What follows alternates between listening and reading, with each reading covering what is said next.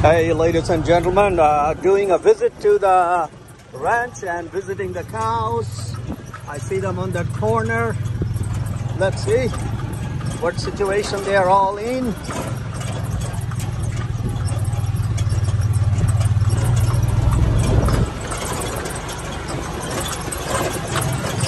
Hello, ladies and gentlemen. Hey, Momos. What's going on, Momos?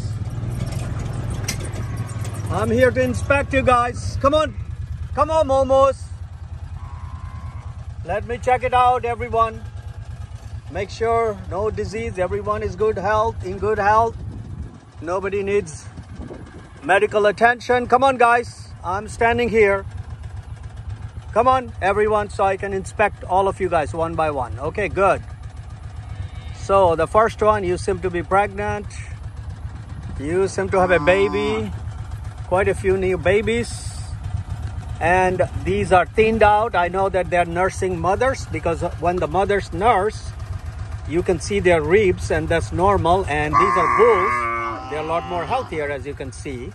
Well, it's really not healthy or unhealthy. It's just a law of nature nursing mothers are really thin there is another nursing mother that's how they should be if not then they're not giving enough milk to their babies that means their babies will not be healthy.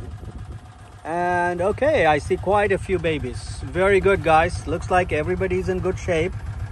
And here is another guy who is, looks like he's trying to fool around with another girl right there. That's why he's not interested coming here. Yep. Look at that. That little cow and that little bull they're just fooling around. You know it's like they're in love so they don't want to be disturbed i can understand that. I can understand that. Look at that. He's still after her.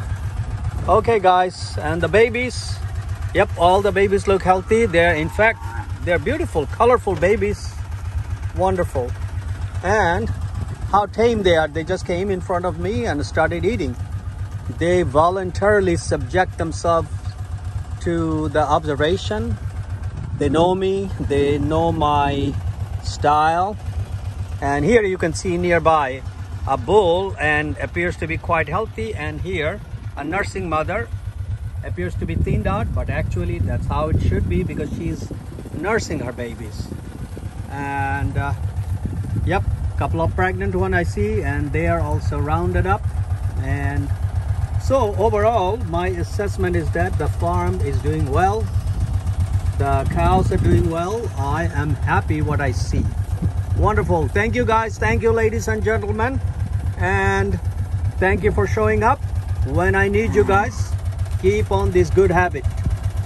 Take care guys